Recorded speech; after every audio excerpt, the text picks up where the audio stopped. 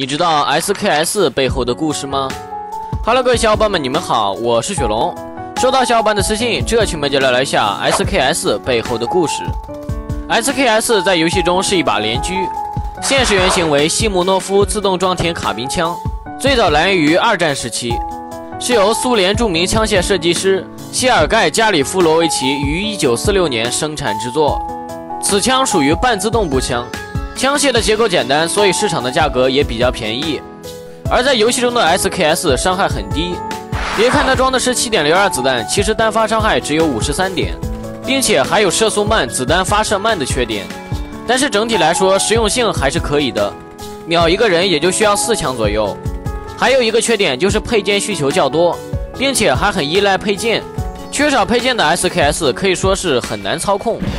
SKS 背后的故事，小伙伴们都知道了吗？好了，那么这期的精英小课堂就到这里了。